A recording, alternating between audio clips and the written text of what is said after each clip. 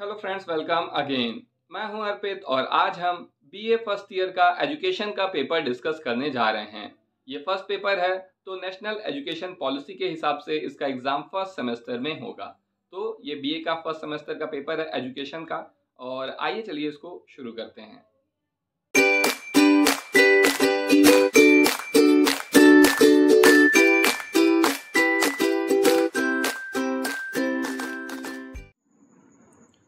दोस्तों, आपके सामने बीए पार्ट वन यानी कि बीए फ़र्स्ट ईयर का फ़र्स्ट पेपर एजुकेशन का आपके सामने है और ये नेशनल एजुकेशन पॉलिसी के अनुसार, उसकी गाइडलाइंस के अनुसार इसको बनाया गया है। तो क्योंकि ये फ़र्स्ट पेपर है, इसका मतलब ये है कि ये फ़र्स्ट सेमेस्टर का पेपर है, क्योंकि जो सेकंड पेपर है, वो सेकंड सेमेस्टर में आता है। तो education first semester BA first year का पेपर है। इसका नाम क्या है? कॉन्सेप्चुअल फ्रेमवर्क ऑफ़ एजुकेशन 2022 का ये पेपर है और यहाँ पर आप देख सकते हैं कि आपको एग्ज़ाम में दो घंटे का समय मिलेगा टू आवर्स टाइम है और मैक्सिमम मार्क्स 75 हैं, यानी कि ये पचहत्तर नंबर का पेपर है। तो आइए देखते हैं कि यहाँ पर क्या जो है निर्देश दिए गए हैं। यह प्रश्न पत्र तीन खंडों आ, बा एवं सा में विभाजित है। प्रत्येक खंड में दिए गए निर्देशों का पालन आपको करना है। खंड आ, बा एवं सा क्रमशः नौ, छत्तीस और तीस अंकों के हैं, यानी nine, thirty six and thirty. अभ्यर्थी प्रश्नों के उत्तर क्रमानुसार लिखें। यदि किसी प्रश्न के कई भाग हों तो उनके उत्तर एक ही तारतम्य में लिखे जाएँ। तो सबसे पहले आपके सामने सेक्शन ए है, जो कि अति लघुत्तरीय प्रश्न है, यानी वेरी शॉर्ट आंसर टाइप के क्वेश्चन है इसमें। और यहाँ पर है क्या कि इस खंड में केवल एक प्रश्न है, जिसके पाँच उप प्रश्न हैं। किन्हीं तीन उप प्रश्नों का उत्तर आपको इनमें से देना है? यानी पाँच क्वेश्चन में से आपको केवल तीन के आंसर देने हैं। इसके प्रत्येक उप प्रश्न में शब्द सीमा पचास है। पचास पेज मतलब सॉरी पचास शब्द का मतलब होता है आधा पेज प्रत्येक उप प्रश्न तीन अंकों का है। तो पहला क्वेश्चन हम देखते हैं। प्राचीन भारतीय ज्ञान परंपरा की अवधारणा स्पष्ट कीजिए। तो ये है आपका पहला क्वेश्चन दूसरा है, गुरु और शिक्षा को परिभाषित कीजिए। तो दो क्वेश्चन हो गए। तीसरा है प्राचीन भारतीय ज्ञान परंपरा के संदर्भ में शिक्षा का अर्थ समझाइए। और डी यानी कि चौथा क्वेश्चन है विद्या ज्ञान की अवधारणा स्पष्ट कीजिए। और ई e, यानी कि पांचवा और आखिरी क्वेश्चन इस सेक्शन में है आपका पूर्व प्राथमिक शिक्षा के महत्व पर प्रकाश डालिए। तो ये हो गए पाँच क्वेश्चन इसमें से आपको केवल तीन ही अटेम्प्ट करने हैं।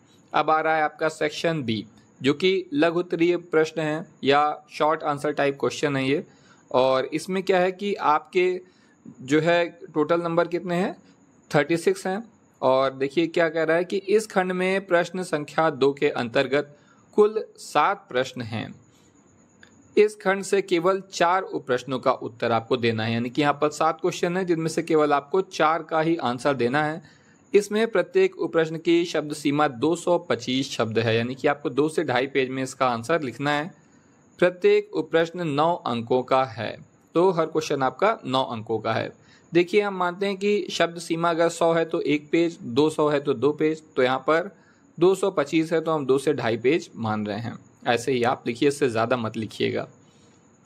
तो यहाँ पर देखिए, पहला क्वेश्चन क्या है कि औपचारिक तथा अनौपचारिक शिक्षा में अंतर स्पष्ट कीजिए। ये आपका पहला क्वेश्चन है।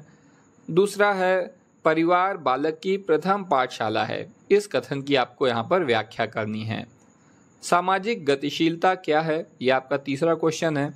और चौथा क्वेश्चन है कि राष्ट्रीय एकता में कौन कौन सी मुख्य बाधाएँ हैं? इसके बाद नेक्स्ट क्वेश्चन है ई। इसमें है कि पूर्व प्राथमिक शिक्षा के एक मॉडल के रूप में किंडर गार्डन की उपयोगिता पर प्रकाश डालिए। देखिए किंडर गार्डन स्कूल आजकल बहुत पॉपुलर हैं।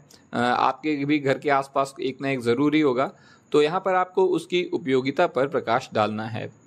नेक्स्ट क्वेश्चन है, अवकाश का अर्थ एवं प्रमुख शैक्षिक कार्यक्रम के बारे में यहाँ पर आपको लिखना है।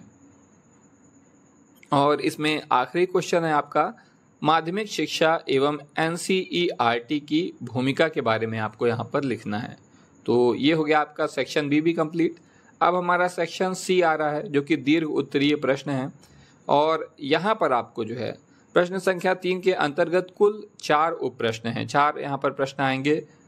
इस खंड से केवल दो उप प्रश्नों का ही उत्तर आपको देना है। इसमें प्रत्येक उप प्रश्न की शब्द सीमा 475 शब्द है, यानी कि आपको चार से पाँच पेज में इसका आंसर लिखना है।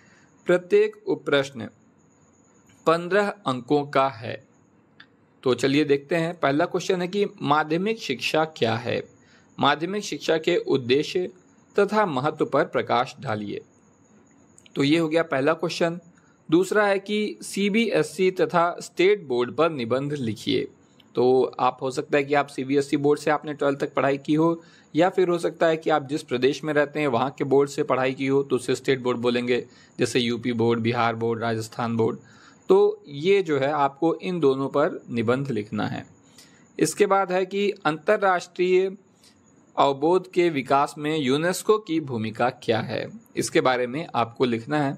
और यहाँ पर आपका लास्ट क्वेश्चन है कि सामाजिक परिवर्तन से आप क्या समझते हैं सामाजिक परिवर्तन में शिक्षा की भूमिका की विवेचना कीजिए। तो ये हो गए आपके सभी क्वेश्चन कंप्लीट और उम्मीद है कि ये वीडियो आपके लिए यूज़फुल है। आप